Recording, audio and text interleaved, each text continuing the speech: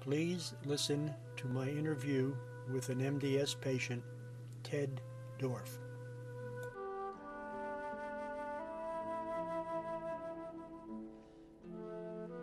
I uh, was on a, uh, a yearly physical examination uh, program, and for numerous years, I, uh, the blood results came back to my physician.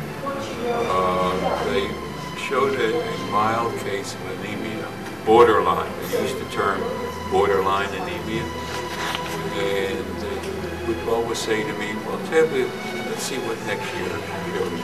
Uh, he didn't want to give me any medications because he thought something, I guess in his mind, he thought something was going on, but he wanted to see if it manifest itself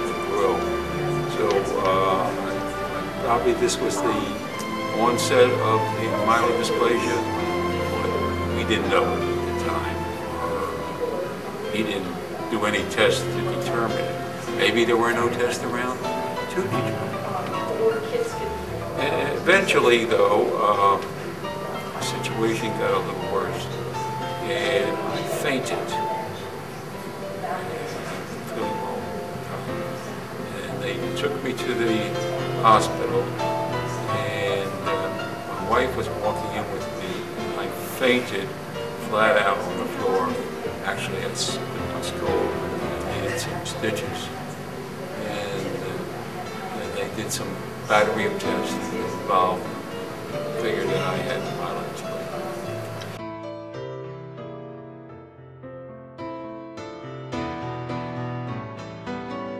Back, I guess I've lived with MDS since 2003.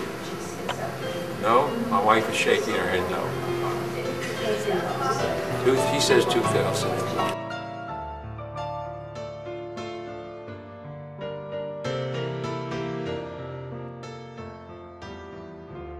Never heard of it, didn't know it even existed.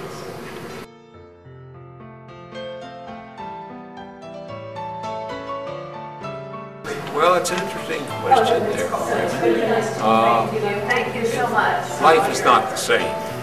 Life is never the same. Has it diminished? I wouldn't say it's diminished, but it's changed.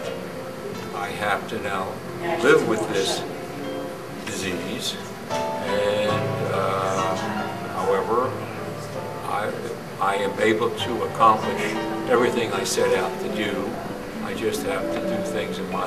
Moderation, and I have to realize that uh, I have the disease and I need constant treatment, but the treatments can be handled in a judicious manner, and I've learned to live with it, and uh, I'm experiencing life and enjoying life.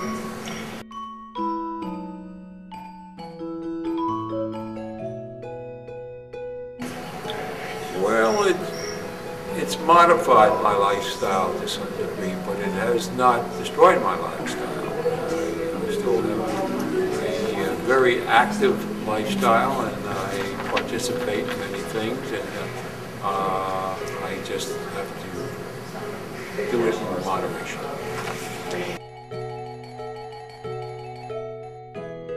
Undoubtedly, they should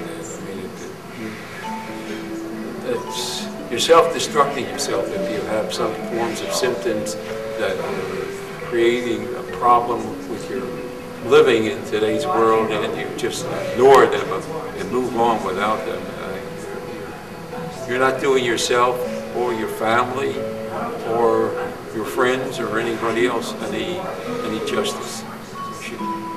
Look what, try to find out what's wrong, and then acknowledge whatever it is, and uh, move forward and try to uh, handle it, whatever way you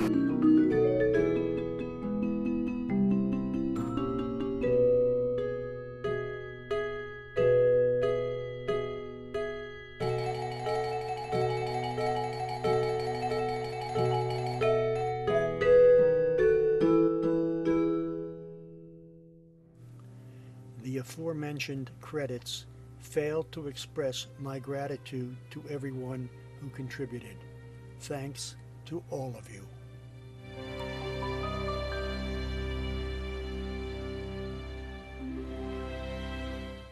Thanks for watching.